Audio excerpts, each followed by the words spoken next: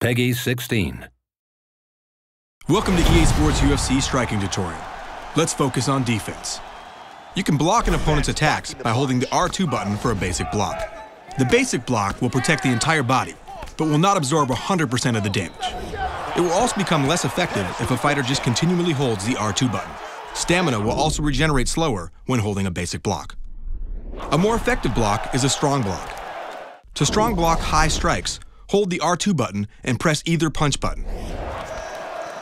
To strong block low strikes, hold the R2 button and press either kick button. Strong blocks provide 100% protection when blocking in the right zone. If timed correctly, the fighter can also perform a parry, leaving opponent vulnerable to counter strikes.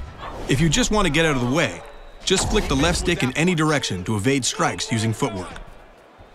You can also harness your inner Anderson Silva by holding the L2 button and flicking the left stick, allowing you to slip your opponent's strikes.